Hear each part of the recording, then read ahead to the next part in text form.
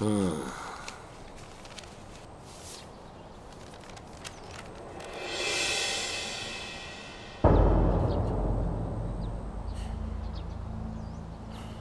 咋了？先生说啥呀？大哥，这个人大有来头啊！他不仅是个散跳，还是国军专门派来找白旗山的。这下麻烦了。那有啥麻烦的？人现在在我手上，我能就这么白给他姓白的吗？你这么着，这人咱们先扣着，等那姓白的跟我要人，就让他给我跪下，管我叫爷爷，让他服服帖帖的。我让他干什么，他就得干什么。他要是老实了，听话了，我就把人还给他。我不能让他像现在这样，借着跟我妹妹的关系，跟我耍花花肠子，动手动脚的。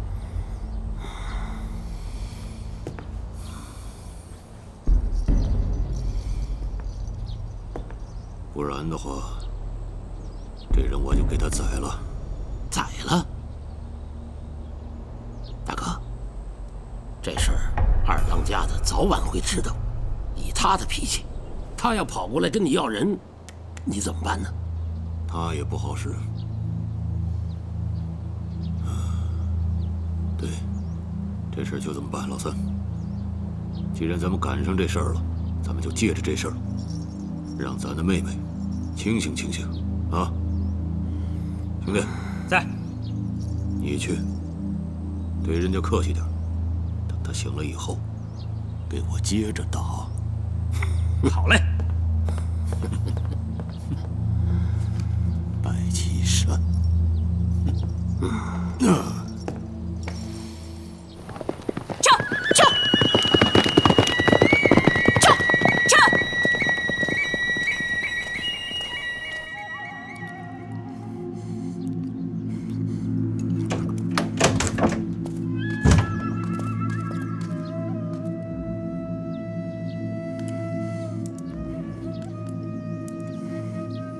你叫什么？廖永昌。你认识白岐山吗？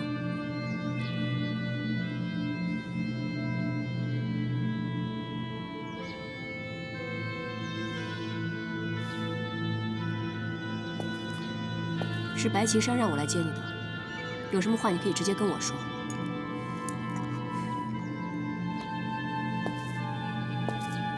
天寒地冻，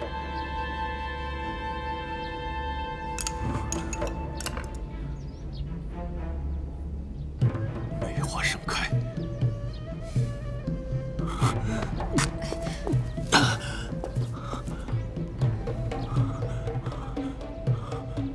陶厂长派遣我到此地联络白长官，快带我去见他吧。你受苦了，稍微忍耐一下，我马上送你下山。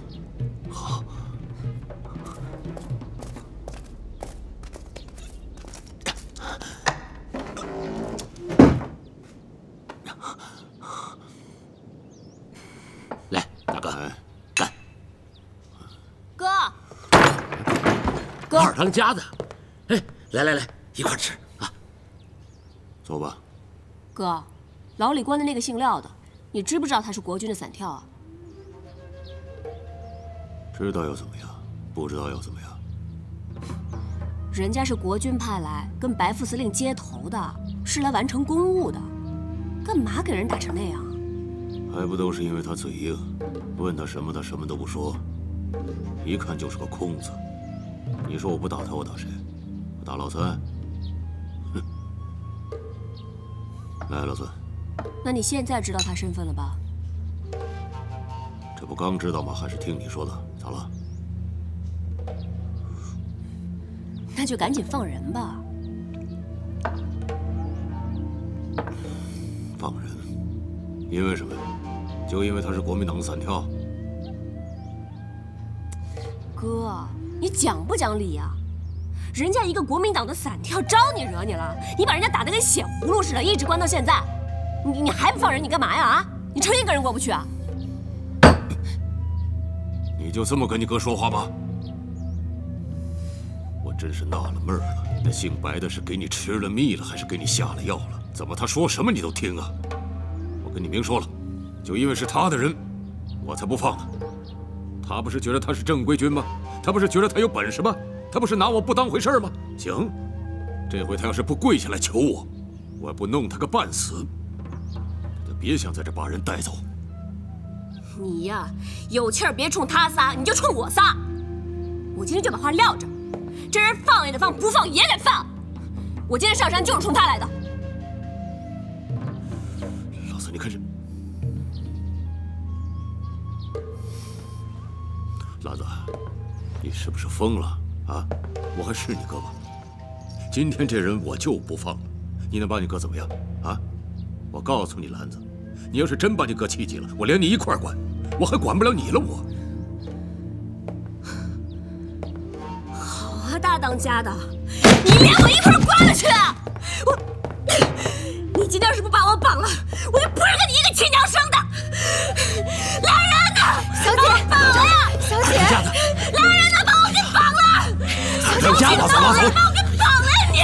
赶紧拉走！家的，小姐，咱们走吧。值得吗？值得生这气吗？好商量啊，好商量。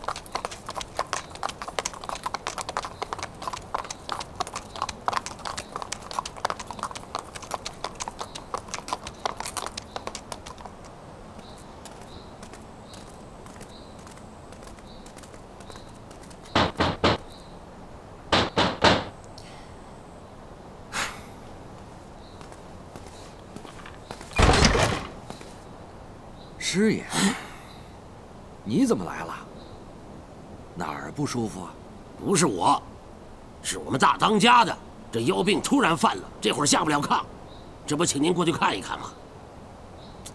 我走不了啊，我这里还有病人呢。那 现在什么病人比大当家的重要啊？咋的呀？大当家的现在请不动你？哎呦喂！这样，容我安排一下，马上跟你走。赶紧的吧！哎，稍等啊。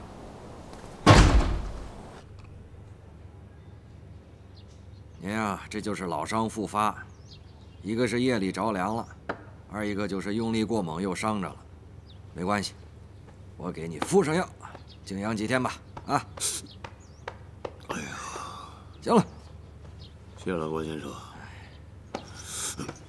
哎呦，你轻点啊，轻点。哎呀，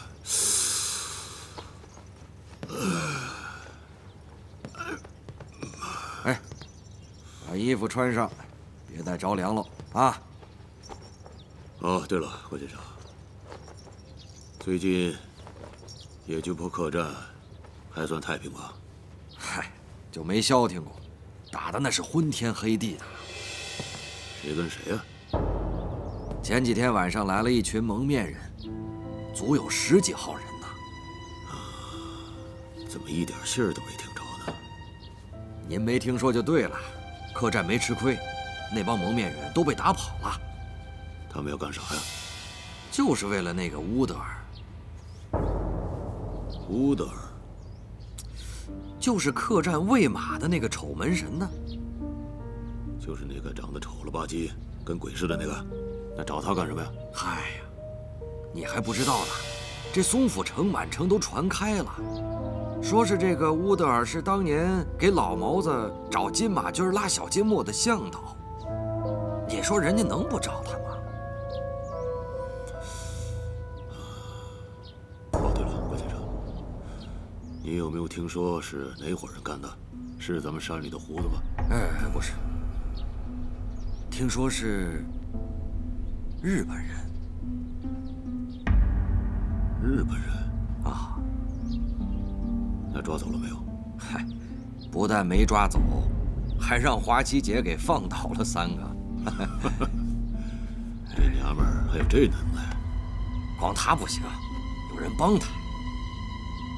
有人帮她？谁呀？就是那个庆余堂的少掌柜的。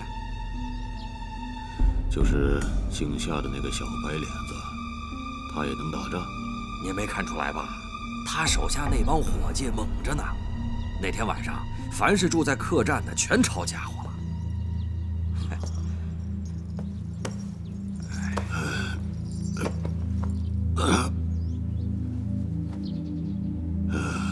我说，怎么一点信儿没有呢？看来有姓夏的这小子在，也算能给我省点心了。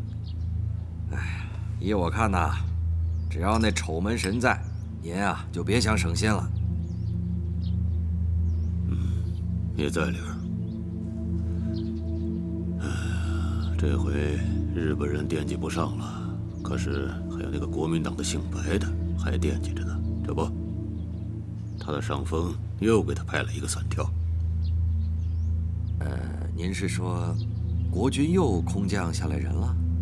对，这回又派了一个，一看就是个空子，问什么什么不说。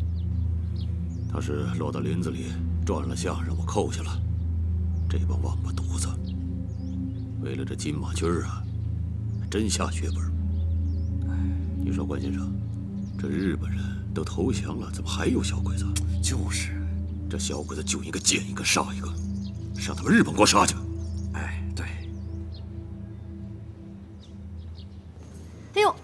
关先生啊，这是打哪来啊？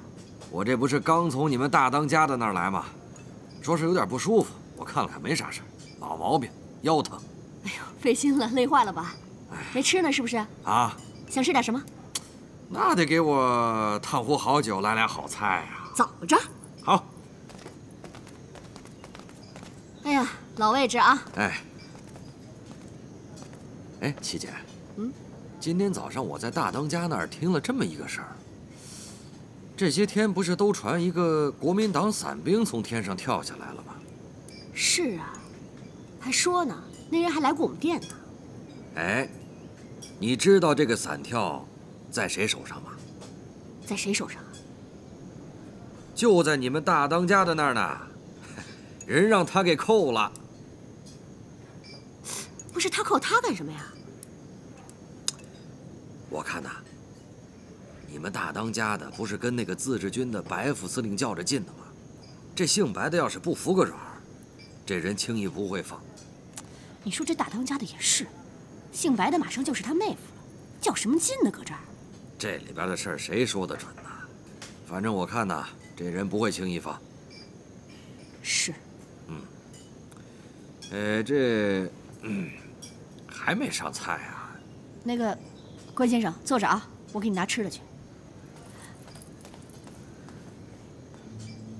嗯我刚才听花旗姐说的，国民党空降下来的联络员现在已经落在了天目山的手里。这说明什么呢？说明白旗山没有找到他，电台还在山里。这样对于我们来说，无疑是一个非常好的机会。我们一定要抓紧时间布防，绝对不能让电台落在白旗山的手里。永义，你说说。昨天呢？嗯，我带了几个战士去了趟山里边。啊，这儿呢是我们的野菊坡，这儿是黑虎峰，啊，这个位置呢是月亮沟。借用一下，这个地方呢是孤鹰岭，这儿呢是他隐藏过的猎人小屋。我画了一个有效的范围，我觉得电台一定藏在这里。但是树林太大了，一个人藏的东西很难被找到。我有个想法，在他藏匿的猎人小屋这里边，我们安排我们的战士隐蔽在这里。如果事情真像花七姐所说的那样，人在天不杀手，而天不杀的妹妹。和白旗山的关系，我们都知道。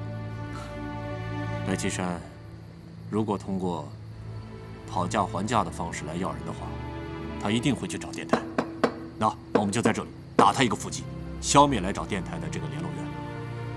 如果说我们得不到电台，那白岐山也别想得到这个电台。我们找电台太困难了，但是如果我们把知道电台藏在哪的人消灭掉，我们就大功告成了。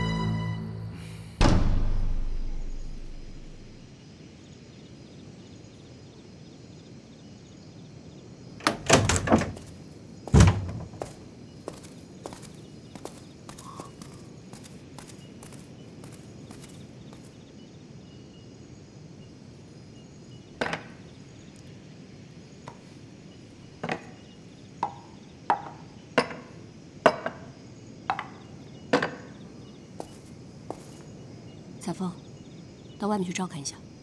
好。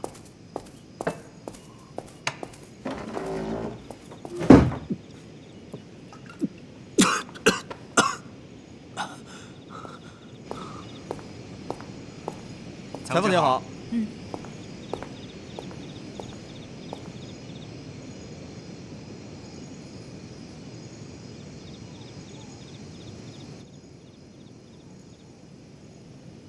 什么时候带我下山？现在还走不了。自治军的肖参谋长呢？啊？他为什么不来解救我？这里是黑虎堂的地盘，他的手伸不到这儿。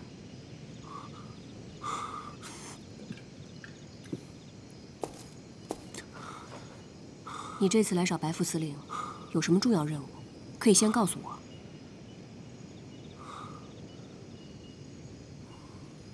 带来一部电台。电台，在哪儿？让我藏在山里了。具体藏在了什么地方？藏匿的地点，只有我自己知道。不过我们的纪律，我必须见到白岐山本人，才能交出电台。所以你必须想办法带我下山，见到白岐山。我会尽快想办法的。你得坚持住。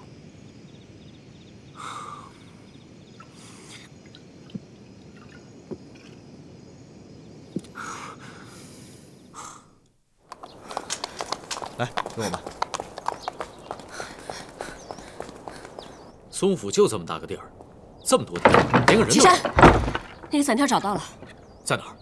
在我哥那儿关着呢，死活不肯放。你哥不放人，一定是冲着我来的，他无非是想让我跟他服个软。没这么简单吧？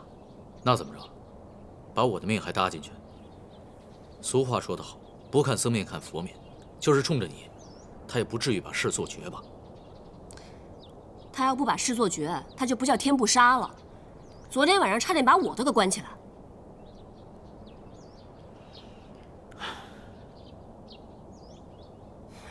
哎，那个散条叫什么？叫廖运昌，他说他带了电台来。电台在哪儿？他藏在山里了。他说必须亲自见到你的面，才能说出地点。小曾毛，这两天跟我上一趟黑虎堂，我无论如何也要把这个人要出来。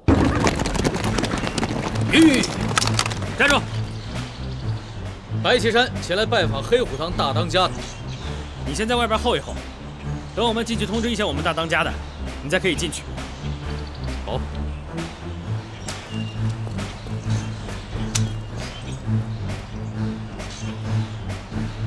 大当家的，大当家的，报告大当家的，自治军白副司令来了，说要拜访黑虎堂大当家的。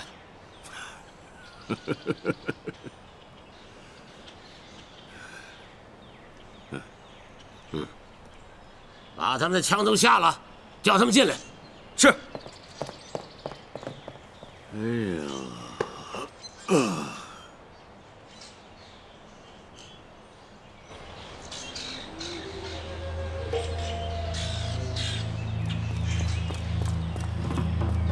大当家的有令，你们要进去可以，先把枪都交上来。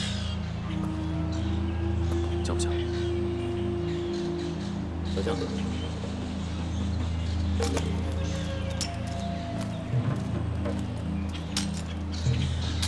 没有枪，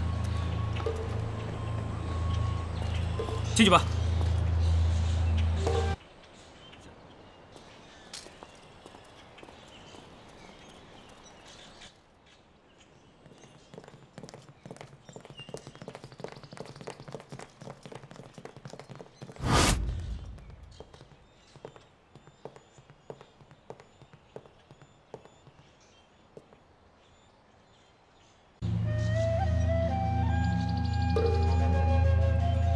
大当家的，白旗山特意拜访您来了。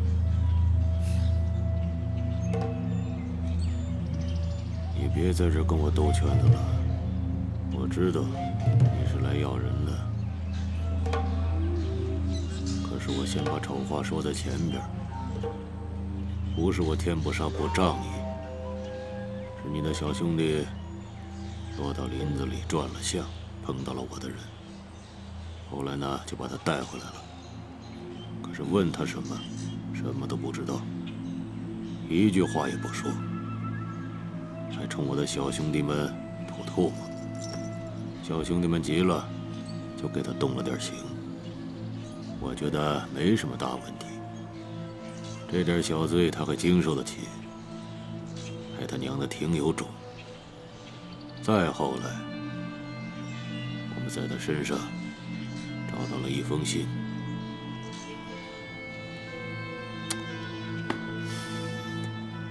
哎呀，才知道他是来联络你白长官的。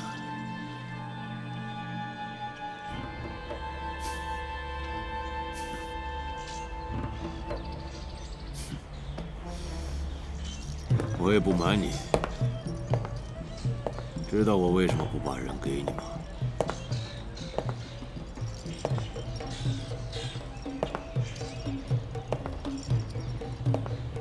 是因为你姓白的太不地道了。你口口声声的说要娶我妹妹，我妹妹前脚到你那，后脚你就把她当枪使，差一点把命赔上。还有一个，就是你太猖狂。那天在自治军司令部。那么多人的面跟我动手，你胆子也太大了！你在松府这地面上，你打听打听，别说跟我天不杀动手，谁敢多看我天不杀一眼吗？即便是有，那他娘的还没出生呢！谁敢？谁敢？灭了他！灭了他！灭了他！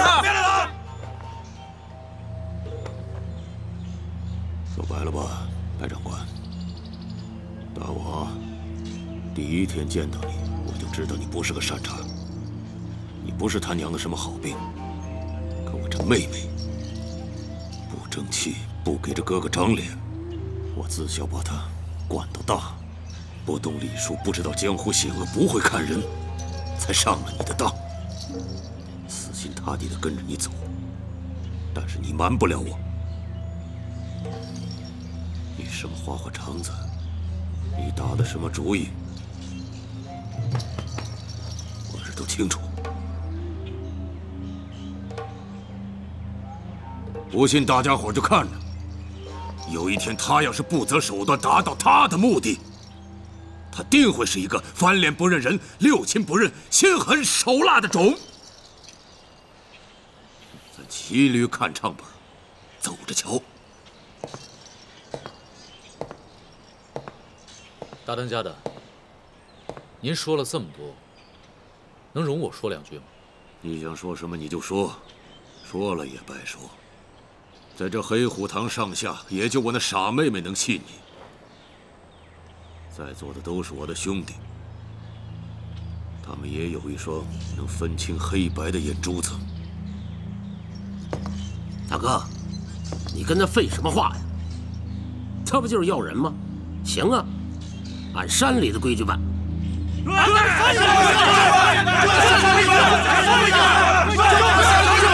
山里的规矩办。你都听见了吗？今天你要想把人带走，就得按我们的规矩办。你的兄弟要是命大，他就是你的，你就可以带他下山。但是你兄弟要是没那么大福分，不好意思，白长官。你只能抬着你兄弟的尸首，乖乖的下山。大当家的，白旗山不才，这山上的规矩，我实在不懂。一会儿你就知道了。去，把人家白长官的兄弟给我请上来。是大哥，你们几个跟我走。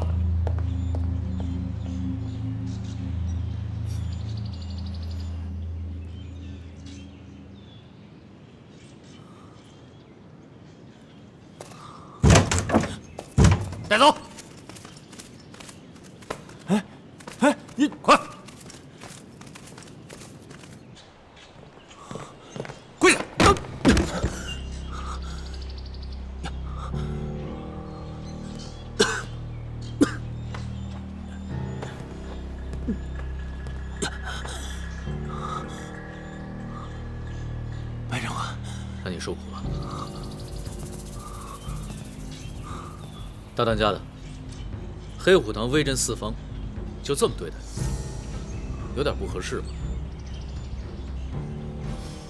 你少他娘的废话！我能让他活着，就算他命大。啊，你不想知道我们的规矩了？那就说出你们的规矩。哎，把东西给他顶上。是。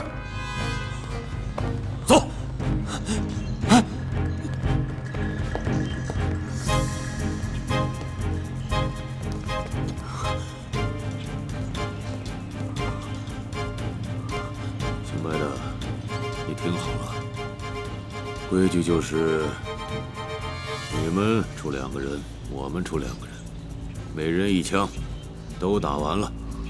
你兄弟要是命大，你就把他带走。如果你兄弟要是没这个福分栽了，你就背着尸首下山吧。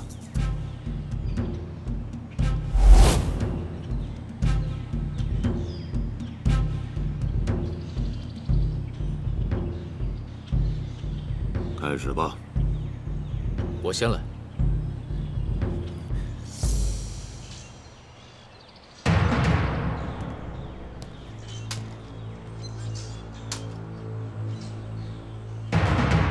哎长官，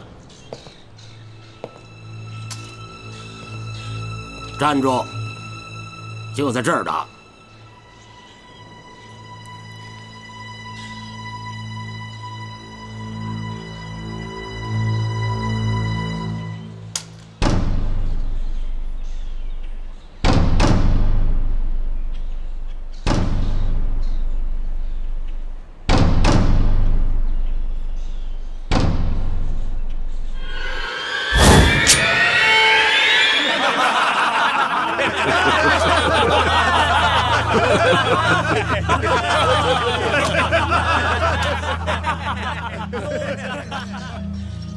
小子还算老实，我防了你一手，我怕你手里拿了枪，回身给我一下子。老三，把那带子儿的家伙给他。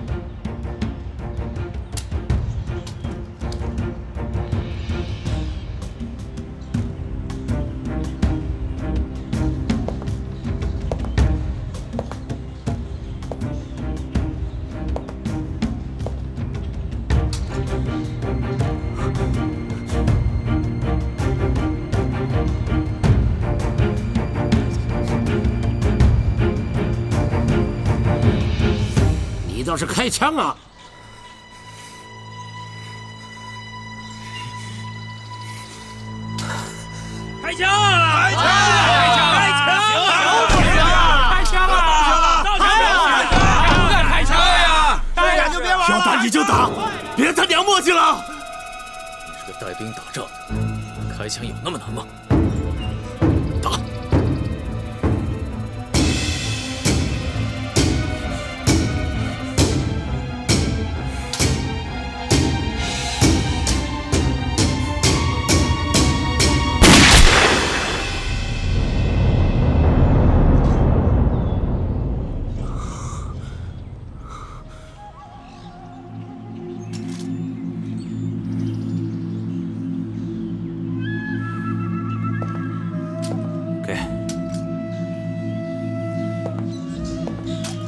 最后一枪，给大当家的掌灯。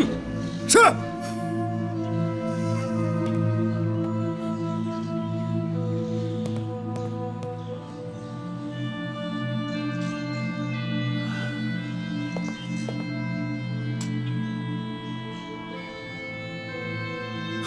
白长官，你的兄弟可真是命大呀！要是让你这么把人带走了，我真是不甘心呐。小三，把枪给我。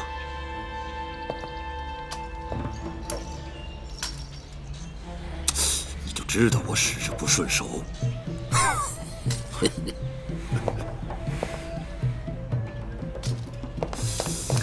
哥，你躲开！你等我忙活完。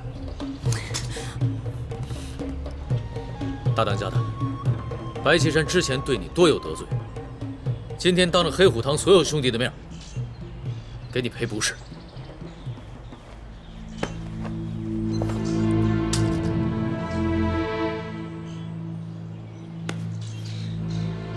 你大人有大量，岐山求你了，给我的兄弟一条活路吧。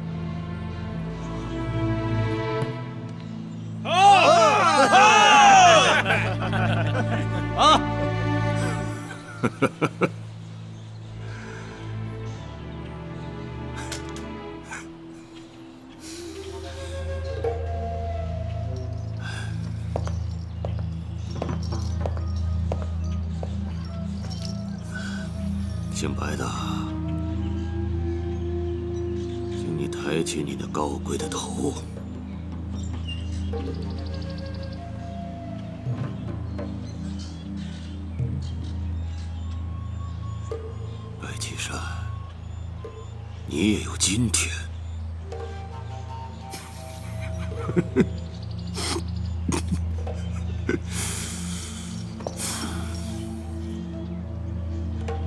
爷爷，叫我爷爷。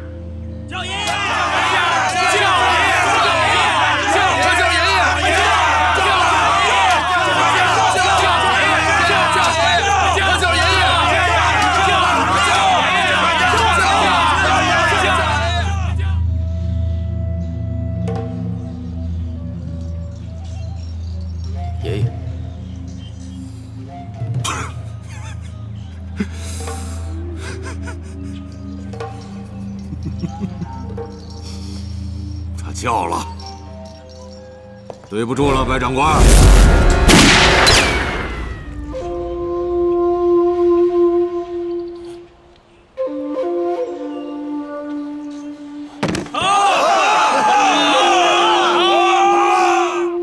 白岐山，带着你的人滚！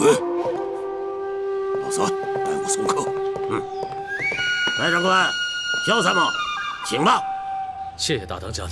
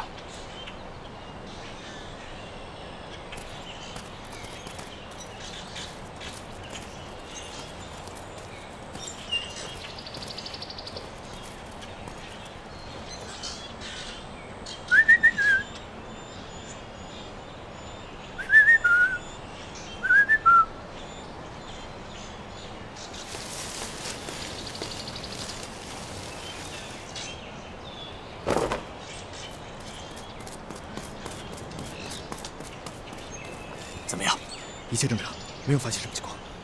嗯，继续观察，千万别大意，越早发现情况，对我们越有利。是，去吧。走。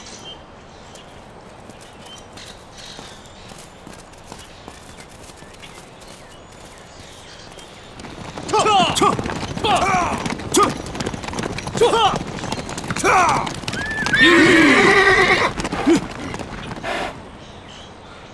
白长官，我们要不要去取一下电台啊？不着急，咱们先回去，就咱们几个人去取太危险了。回去之后，我立马组织队伍过来取电台，最好是夜间行动。明白了。撤撤撤撤撤！山林，哎呦，师爷，师爷来了。七姐呢？去，把七姐给我叫出来。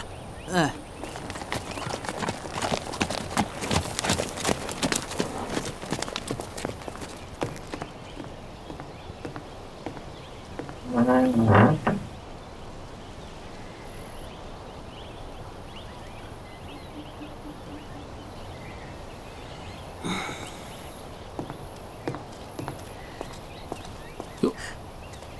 师爷，你这是找啥呢？啊，七姐，啊，是这么个事你这儿有个叫丑门神的人住着，对吧？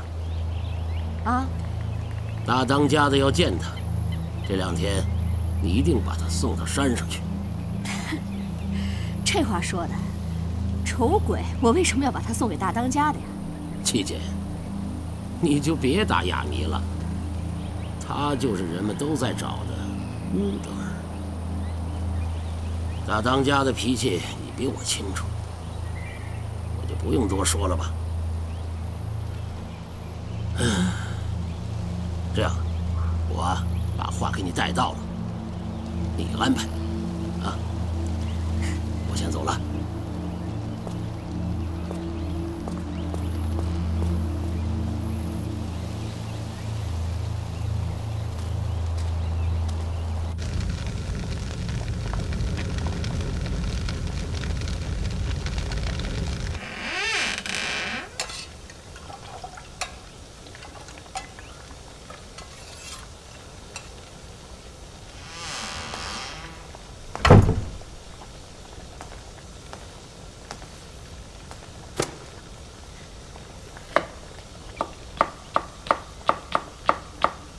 大伙儿把手上的活都停一下，我跟你们说个事儿。明天呢，黑虎堂大当家的要把丑鬼带走。丑鬼这次跟他去的话，十有八九小命是保不住了。丑鬼是我的人，我死都不会放他去的，大不了就把我的命搭上。不是，掌柜的，让我把话说完。这些呢？是我全部的家当，你们几个分一分，明天一早拿钱走人。